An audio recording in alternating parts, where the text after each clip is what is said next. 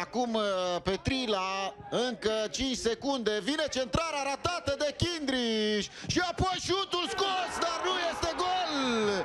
Este gol marcat de Dimitrov! Incredibil final de meci, este fluier de final și iată-l pe Marius Croitoru! Este pur și simplu exasperat! Tot incredibil ce s-a întâmplat la această ultimă fază. Botoșaniul scapă printre degete două puncte.